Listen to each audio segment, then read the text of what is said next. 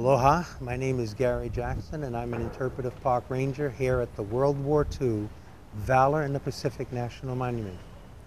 This afternoon we're on board the USS Arizona Memorial.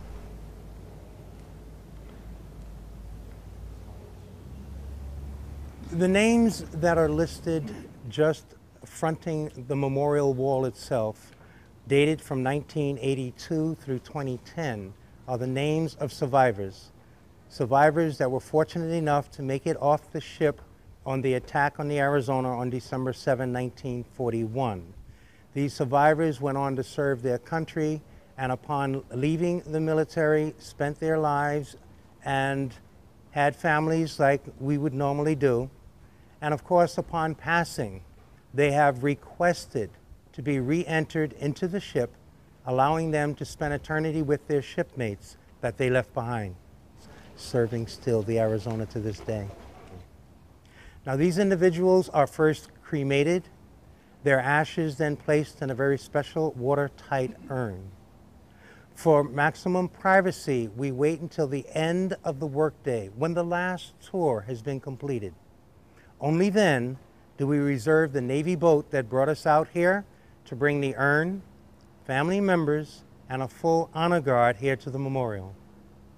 Once on the memorial, they'll set up and stage a detailed ceremony to honor that individual.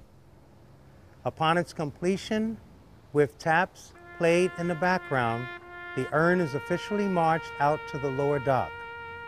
There it's turned over to our chief diver. The diver, upon accepting the urn, swims from the dock just beyond gun turret number three and continues to the fourth gun turret. It's this fourth gun turret, as you can probably imagine, that remains underwater 24-7. At the base of the number four gun turret is a five and a half foot crevice. The individual will then slow, uh, slowly swim along this five and a half foot area as they look for an opportunity to insert the entire urn, thereby returning them to their shipmates for all time.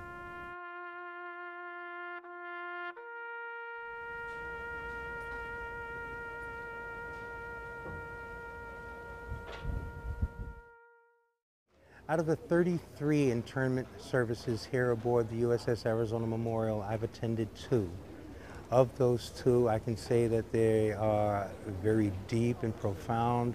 It's uh, very much a military type ceremony honoring the individual, and it does bring tears to the eyes by the time it's completed.